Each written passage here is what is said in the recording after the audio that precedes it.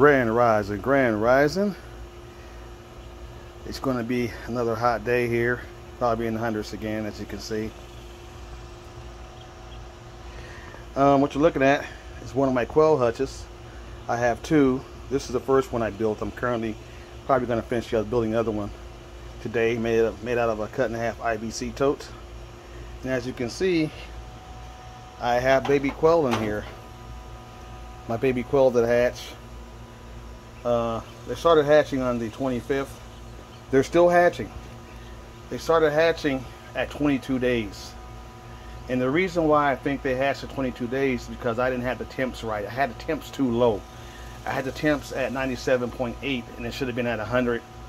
So instead of taking 18 days, it took 22 days for the first chick to hatch. So that was my fault. But these guys are healthy. I'm probably having um, uh, probably about a 36% hatch rate out of all the eggs I got, but that's okay. It's not the uh, it's not it's not the fault of the uh, uh, people I got the eggs from. It's mostly my fault, and it could be attributed also to uh, they were they were hatched. The, the eggs were actually laid on uh, and shipped on July the. Uh, they were laid on July the fourth. I'm sorry, they were laid on July the fourth.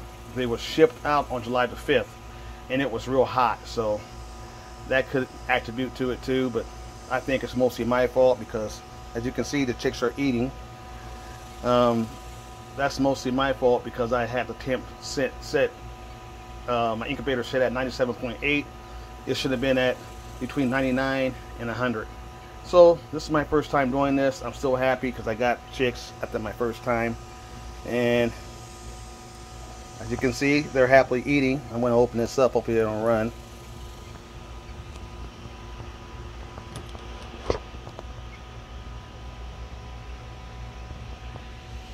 And what I'll do is, they're in this tub right now, but when they get two weeks, they'll come out of this tub, and they'll just be in the, uh, they'll be in this inside here, in the uh, quail hutch.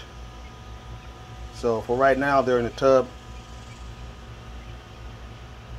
because they're too small to put in here, to put in here yet. So I put their tub inside of here, and as you can see, I have a a micro fan, powered USB micro fan, powered by a, uh, uh, one of my small solar power generators, or or a USB storage battery, either or.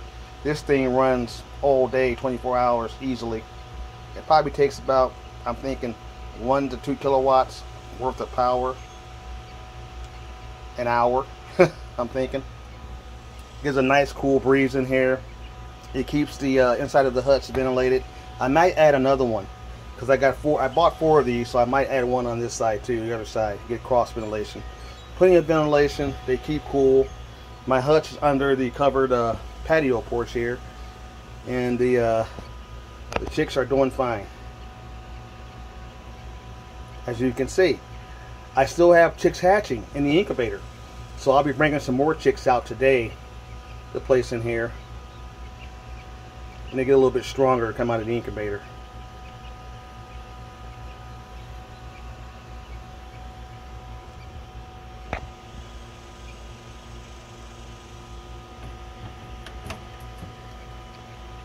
So I'm going to secure this back up, place the other board on top, put the bricks on top of the boards, these boards I have here. And uh, keeps the predators out. and everything's looking good.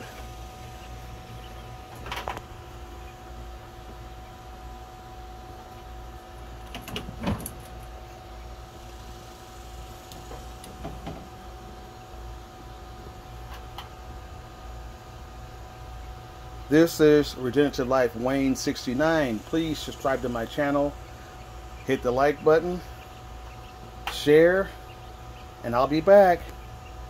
Have a nice nice Wednesday morning, folks.